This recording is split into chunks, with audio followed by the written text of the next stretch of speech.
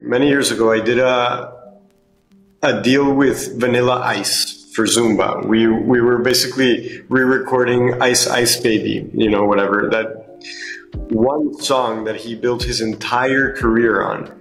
And what I think happened, and I was looking at this guy, and it's like super like what a crazy life you know uh, he just created one song and that's it and what I think happened there is that he was relaxed enough to let the creativity come through.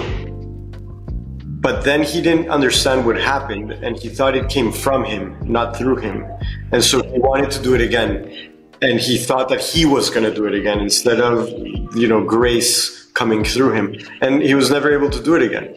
And this, this is what the one hit wonder, this is the, the syndrome of the one hit wonder is that and so, you know, as artists become famous, it's uh, it's very hard. They have to really understand the sacred practice of of, of getting into a, a state of creation, because because uh, it's very easy to to to let the ego take over.